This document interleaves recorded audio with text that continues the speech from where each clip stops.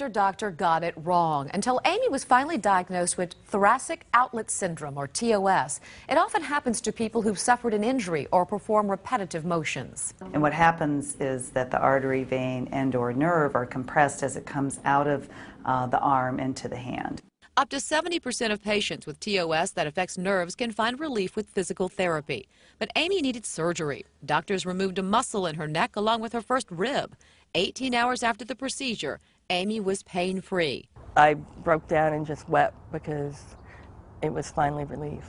Now Amy can climb, clip, and pull without any pain. It's just unbelievable. I mean, I truly, truly have my life back. Leslie Mouton, KSAT 12 News.